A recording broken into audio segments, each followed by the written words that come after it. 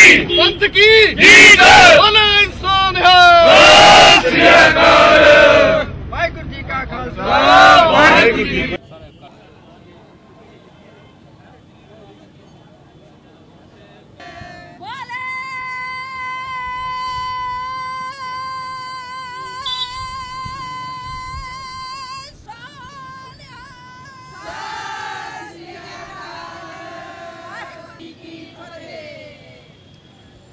नहीं चलेगी नहीं चलेगी नहीं चलेगी नहीं चलेगी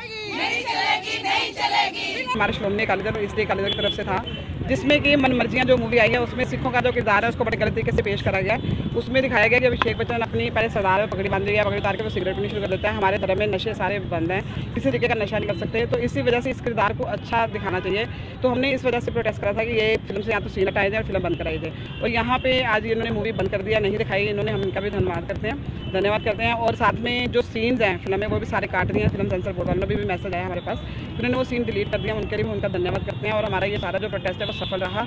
उसमें ये मेन हो गया कि जो जिस बात को लेकर हम लोग चले थे वो उसमें हम सक्सेसफुल हो गए।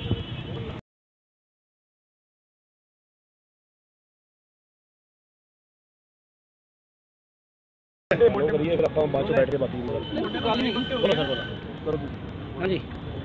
दर्शक मॉल पे मन मर्जियाँ फ़िल्म लगाई थी उतार भी दी गई है। क्या कहना ऐसा है कि ये फ़िल्म जो है, सिख भावनाओं का किसी तरीके से शोषण करने का एक माध्यम बनी हुई थी।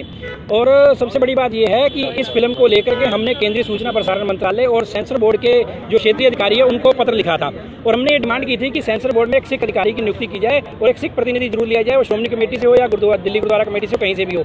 अभी जब हम यहाँ प्रदर्शन के लिए आए हैं तो हमारी जानकारी में बाहर आया कि सिनेमा मालिक ने लिखकर लगाया कि यहाँ स्क्रीनिंग नहीं चल रही है।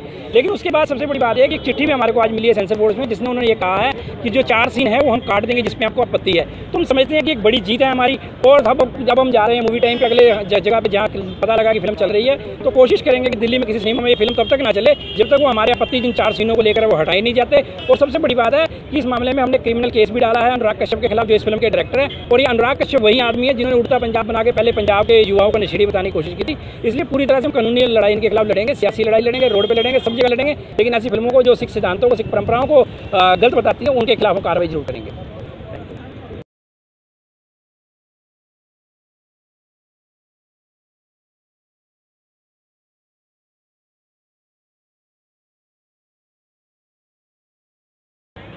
सबसे पहले अपना नाम बता दीजिए क्या नाम है आपका? मैं परविंदर सिंह सेठी वाइस प्रेसिडेंट शिरोमणि अकाली दल साहब आज प्रदर्शन किस वजह से?